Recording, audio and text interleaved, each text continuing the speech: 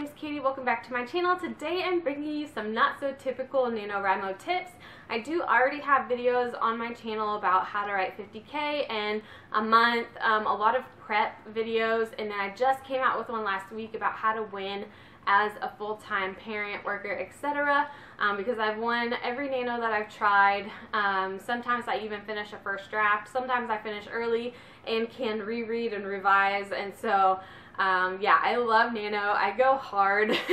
Um, but I want to see if you guys, if this is your first time, if you're not an outliner, um, I hope these tips are helpful just to kind of get your brain going and thinking about your project.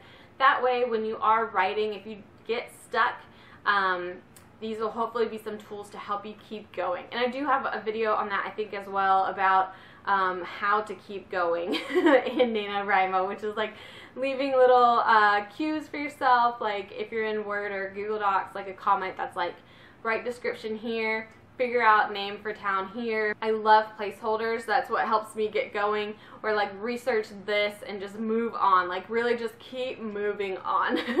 so if you ever get stuck, first of all, where to begin with your project. Um, these aren't going to be in a particular order, but um, if this is your first book versus like other books, if you've written before, what is your brand?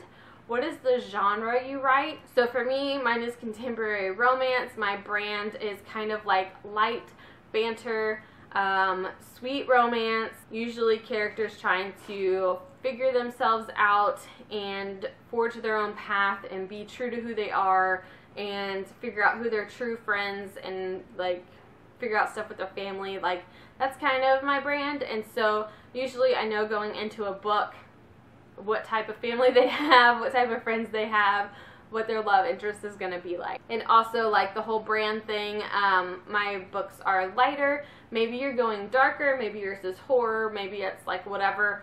Um, think of the tone of your book, the mood of your book. Think of if it's a quiet versus loud book, and that's what more like quiet stakes versus like giant stakes, like world ending versus like the character thinking her world is ending. this is going to really help you when you start to think of your plot and um, story structure for like what is going to be hitting your character. Is it going to be more internal versus external versus like, oh my gosh, save the world already? Um, are there murders? are there, um, you know, friendships being destroyed? Like, what is happening in your story? What do you want to happen in your story? With that, what type of tropes do you like to use? If you're stuck and you're like, man, I really want to put this trope into the story, go ahead and slap that guy in there, at least to get the ball rolling, and you can always revise that bit later and fill in um, some more transitional stuff or move that part to later. I love moving scenes around um, if they're just not working there. I have a whole bunch of blogs on my website that talk about different tropes to use, different um, themes to use, and I think subplots as well. And so um, just a lot of different lists that y'all can go check out to um, figure out what you kind of want in your story as well. And I'll try to link those down below. With story structure, you may or may not use that. Maybe you're a free flower. Maybe you like the three act, the four act structure. Um, I would suggest, even if you're not really an outliner, to get a baseline story. And that's going to be like, what is your inciting incident? What breaks into the second act? What your midpoint is? what your like all is lost is and then your climax and um, those pieces will help you keep going so if you're like really stuck and you're like okay somehow i have to get her to where she makes this choice to go to the new world then you know that you can just think of something for that. And if you need help along the way, you can also do little prompts for yourself and make a list of those in case you do get stuck. But that's a whole other thing. That's not a where to start. um, also think about your characters. Um, when you're thinking of what story you're trying to tell, what character is going to be your main character? Who has the most to show, to grow, etc.? What is their lie they believe and what do they need to overcome by the end?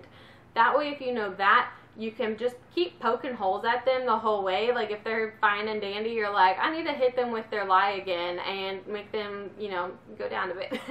and then have them overcome it toward the end. If you keep all these things in your mind, it will be pretty easy, at least in my opinion, to keep your story moving forward. You can always introduce side characters, you can always bring in friends, family, whatever, to help your character along, to make them be a juxtaposition. Um, to make them be something that they overcome. And when you think about all of that stuff, that kind of turns into subplots and um, can be something that you work on as a small arc as well. And maybe that's not something you really care about until revisions, but just to keep in the back of your mind as you're writing. And then of course you're going to want to set your goal for Nano. So if you're doing the traditional 50,000 words, you're going to want to figure out how many words you need to write on the days that you're writing. It is totally okay not to hit that goal, even though, yes, it is very fun to get all the badges and hit that goal. but sometimes you're just stuck, or you decide that project is not flowing and you want to do a new project. Um, I know people who work on multiple projects during Nano and just accumulate those words. I know people who revise. I know people who just do part of their novel. So really, I hope that if you keep all these things that I've mentioned in mind while you're writing, I'm hopeful that they'll keep you writing.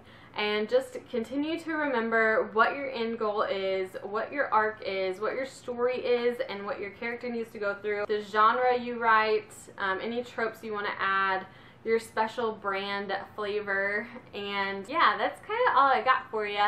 Um, for a not so typical NaNoWriMo tips. Again, I do have other videos with the more typical tips, so go check those out as well. But I just got thinking about um, these particular tips and how they might be helpful and how I might use them toward my Nano story as well. So good luck with Preptober, especially if you are outlining or if you're just thinking, trying to think of a book for Nano.